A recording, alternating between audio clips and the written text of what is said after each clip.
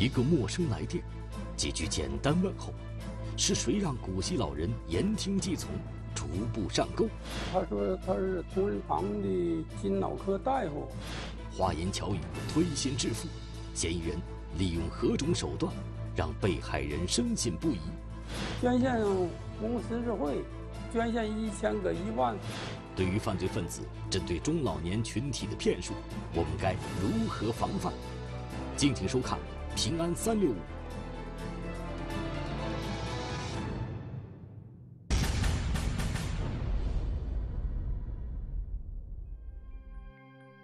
二零一七年四月二日，河北省秦皇岛市公安局阜宁分局接到辖区居民王传生的报警电话，说自己省吃俭用攒了半辈子的养老金六万元被人骗走。事情还得从王传生接到的一个电话说起。二零一七年三月二十二日下午，在家看电视的王传生接到了一个以零幺零开头的电话，而让他没有想到的是。这个陌生的来电，正是一场噩梦的开始。有一个叫于真的，他说他是同仁堂的心脑科大夫。王传生在获悉了对方来自国内知名药行后，并没有挂断电话，而是尝试着与对方攀谈了起来。让他意外的是，这一通电话，王传生竟收获了一个惊喜。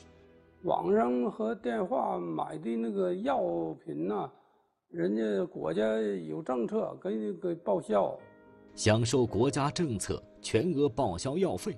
难以置信的是，这天大的好事竟会降临到自己的头上。原来，王传生常年患有静脉曲张等疾病，每个月都要花一千多元购买药品。由于身体原因，王传生一家的经济状况比较拮据。全额报销药费这一福利，无疑是雪中送炭。当时打电话是零幺零的号码，我寻思北京的，那他能说差了？他说一个国家给你报销，也不是我个人给你掏钱，这让我相信了。王传生与这个所谓的同仁堂大夫交谈一番后，便向其询问如何报销药费。对方在电话中告知，想要获得这笔报销款是有一定条件的。他说是得够一万块钱给报销一回。据这名大夫说，国家最新政策自二零一六年国庆起正式实施，凡购买药品达到一万元的，均可全额报销。而王传生自新政实施起，累计购买的金额是八千五百元，也就是说，他需要再次购买价值一千五百元的药品之后，便可达标，领取一万元的报销款。犹豫再三。王传生还是向这名所谓同仁堂的医务人员汇去了一千五百元。没过几天，他果真收到了三盒包装精美的保健品。在收到快递之后，王传生便迫不及待地向这个所谓的同仁堂药行拨去了电话。本以为按照规定可以领取一万元的报销款，可谁知对方在电话中告知他，又有新的优惠政策即将出台，说是。捐献红十字会，捐献一千个一万，完了我这个给给我定五千，这这好处刺激我这脑神经了。在电话中，这名大夫告诉王传生，只要自愿捐献五千元，便可获得红十字会的五万元返现。但是想要得到这笔返现，必须先交纳两万元的保证金，此后这笔保证金会与返现钱款一并返还。好事接二连三的到来，让王传生心里十分高兴。第二天，他便给对方汇去了两万五千元。本以为报销款能够顺利返还的王传生，不会想到，在这背后还有着一个更大的阴谋。不久后，他又多次接到电话，内容依然是以各种理由要求汇款，要这个上税费、认同费、公证费。好处费，我就给我报销，我给的给的也重。为了能够顺利拿到返现钱款，在随后的日子里，王传生在对方的指示下，分别汇去了公证费一万三千五百元，手续费八千四百元，认同费七千五百元，税费四千九百元，加上之前汇款的两万六千五百元，在不到一个月的时间里，王传生共计汇款六万零八百元。直到二零一七年四月二日，在其向所谓的同仁堂致电询问返现的时候，才发现事有蹊跷。您好，您所拨打的号码是空号，请核对后再拨。这时，王传生才突然意识到，自己上了当，于是他赶忙报了警。在办案民警对被害人的后续调查中得知，王传生六十三岁，是秦皇岛市某单位的退休职工。自己和老伴儿的日常开销都是靠每月三千元的退休工资，被骗的这六万余元是老两口多年来省吃俭用攒下来的养老钱。为了能在第一时间侦破此案，警方决定兵分两路展开调查。首先想呃追清赃款的具体去向，另一方面呢，我们也想通过嫌疑人所使用的电话号码，获取更多的嫌疑人信息。但是这个号码在案发后就已经停机了。一案未破，一案又起，究竟是谁在导演这一场场骗局？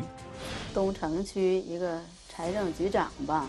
警方调查锁定幕后黑手，ATM 机所留影像能否成为破案关键？平安三六五正在播出。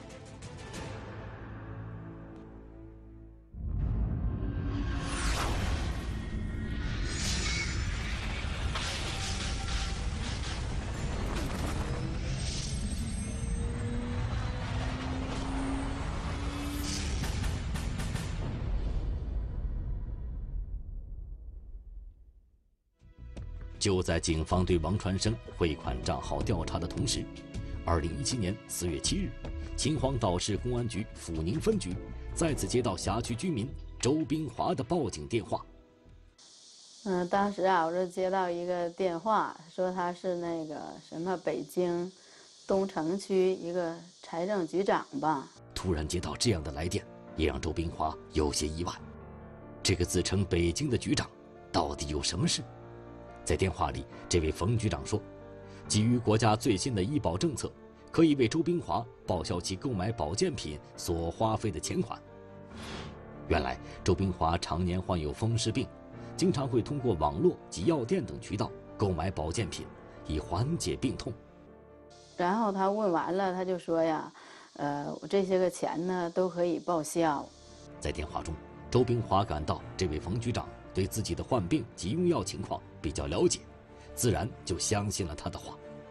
与另一起案件如出一辙的是，对方在电话中告知，想要获得报销款，必须先交纳保证金、手续费等费用。嗯，前前后后呢，我一共给他打了四万块钱。短短几天之内，接连发生的两起案件，不仅说明了犯罪分子的猖狂，也向我们揭示了一个更为深刻的问题。不法分子为什么总能以医疗报销等借口针对中老年群体实施犯罪？究其原因，一方面是中老年群体由于身体机能下降，诱发各种疾病，必须依靠药物的帮助来维持身体正常的运转。身体不好呗，我是心脏做手术的，吃高血压药，血压高，吃降压药，身体嗯，只能说一般吧。平常是云南心脑痛，不怎么吃药，这是血压有点偏高。经记者调查发现，在中老年群体中，日常服用药品及保健品已是极为普遍的现象。犯罪分子正是利用了这一特点实施犯罪。而另一方面，中老年人贪图便宜、期望全额报销的心理，也是上当受骗的一个重要原因。民警通过对两起案件的案发过程侦查发现。两位被害人均是以接到陌生电话开始，被不法分子编造虚假信息所蒙蔽，通过银行转账的方式遭人诈骗，符合电信诈骗案件的基本特征。在确定了案件性质后，警方立即成立了专案组，展开侦破工作。那下一步，咱们以受害人打款账号作为切入点，把这个作为下一步的工作方向。民警发现，在两起案件中。被害人都是向同一账号进行汇款，那么这个银行账号能否成为破案的关键？通过我们调查嫌疑人的账户信息，发现办卡的人是一个叫陆阳的人办理的，这是一个虚假身份办理的一个银行账号。嫌疑人的智能卡在案发后曾在张家口的一个工商银行的 ATM 柜员机上取过钱。为了在第一时间获取嫌疑人影像资料，办案民警立即调取了这台 ATM 取款机的监控录像，确定了取款嫌疑人的正面影像。这个嫌疑人有一定的反侦查意识，他在取款的时候戴着帽子，有意躲避侦查。那么，这名狡猾的犯罪嫌疑人到底是谁呢？他又藏身何处呢？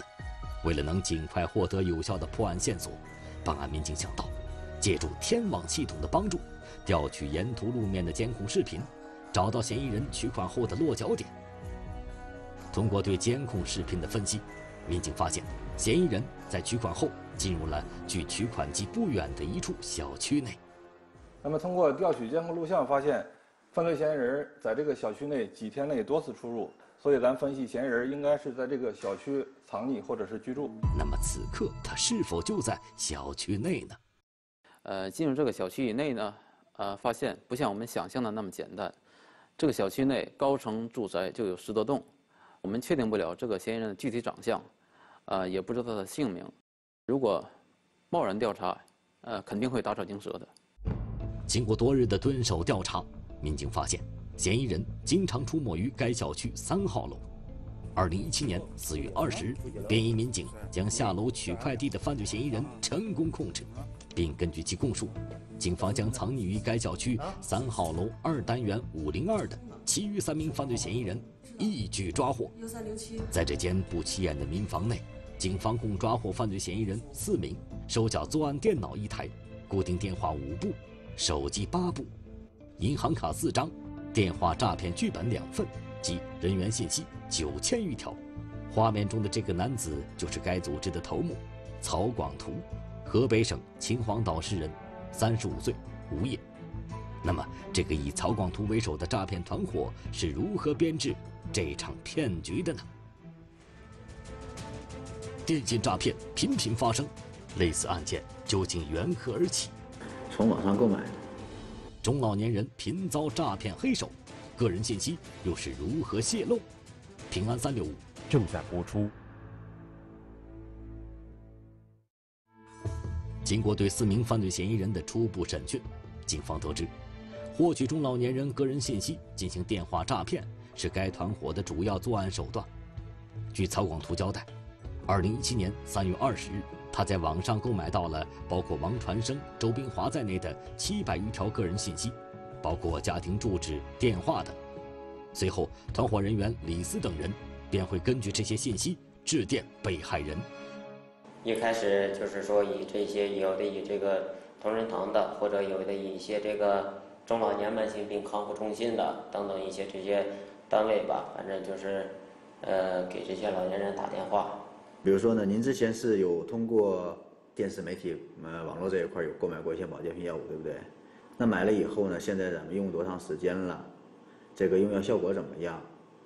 据曹广图交代，在取得被害人的信任后，团伙成员便会向被害人介绍，其享受国家政策的条件还不达标，需要继续购买一定数额的保健品。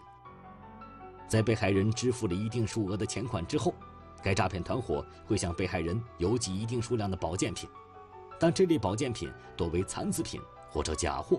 价格远远低于被害人支付的金额。随后，团伙成员会以交纳银行保证金、好处费等理由，诱导被害人继续汇款，实施诈骗。王传生及周冰华就是这样陷入这场骗局的。在整个诈骗过程中，团伙成员分工明确，各负其责。由团伙头目曹广图负责购买个人信息及管理团队日常事务。团伙成员刘静及李四专门负责拨打电话，而赵凤华则负责办理银行卡、进行取款等业务。由于分工不同，团伙成员可以获得不同的提成。基本工资，比如说一个月是两千五，加提成，提成按业绩的百分比算。一个月一万块钱业绩的话呢，提成相对来说要少一些；一个月五万块钱业绩的话，提成相对来说要高一些。在本案中。个人信息的泄露是整个案件的源头所在。那么，曹广图团伙所掌握的中老年人信息又是从哪里获取的呢？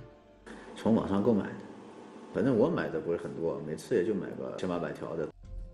通过 QQ 好友，曹广图以极其低廉的价格购买了近万条中老年人个人信息。目前，警方正在全力追查这些信息来源。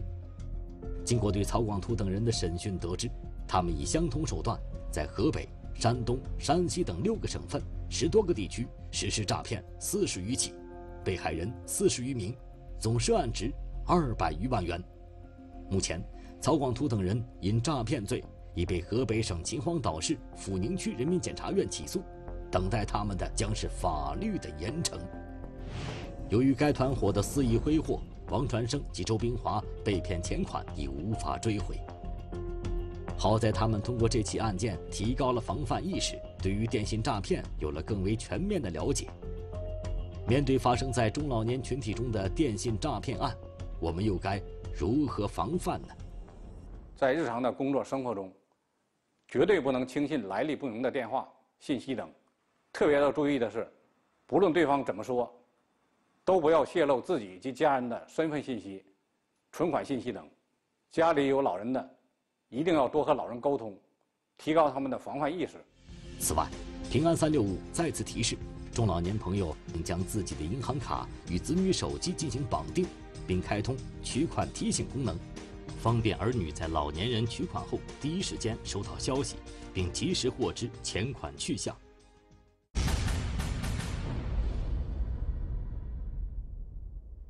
二零一八年一月十八日下午。河南省新乡县交警大队城区中队的违法办理窗口来了一名男子，表示要处理交通违法信息。民警上网查询后发现，男子的驾驶证因酒后驾车已被吊销。不仅如此，现场民警还发现男子口中酒气熏人。随后，民警调取了大院监控，看到男子确实是自己把车开进了院中。啊，嗯。原来当天下午，男子打算到检测站审车。由于检测站没有开门，就买了两瓶啤酒喝了起来。之后发现车辆有交通违章未处理，便酒后驾车到城区中队处理违章。随后，民警依法对男子二次酒驾的行为给予行政罚款两千元，并处行政拘留十天的处罚。